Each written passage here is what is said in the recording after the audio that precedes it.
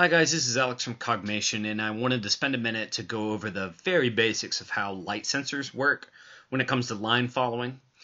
Uh, so this is an EV3 light sensor that I've added to the front of this robot here and uh, it works uh, in a couple of different ways so you can use it to detect color but in this case we're going to use something called reflected light intensity. So what that means is that um, you can see here that there's a red light that's coming out of the bottom of the sensor. And if I move the robot, um, here I'll, I'll move the robot around, you can see that that is being generated by the, uh, the sensor itself.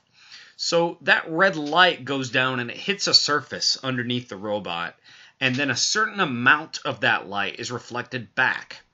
So if I was on a mirror, an extremely white piece of paper, uh, almost all the light that was beamed down would come back into the sensor. So there are there's a, um, a photoresistor in the sensor that tells tells you how much, what percentage of that light came back into the into the sensor. So I have the robot here on a table, and it's uh, kind of a light tannish brown color.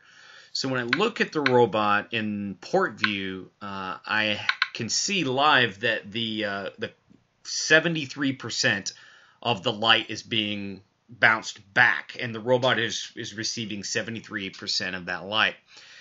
If I move the robot and put that same sensor over top of a dark section, um, all of a sudden you see that reflected light is much lower number. Uh, so it's it's fluctuating. It does this in, in real life as well, uh, but it's somewhere between two and seven percent. It looks like here. But because there is a significant difference between seventy two percent and uh, oh zero, okay. Uh, it just depends where you are on the line.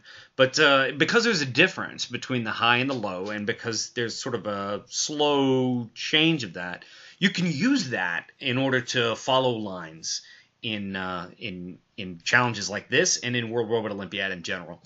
So uh, I'll go over how to do that more specifically in line following, uh, but I just wanted to show how the percentage of light being reflected back is the key when it comes to line following with uh, this particular sensor. So thanks a lot.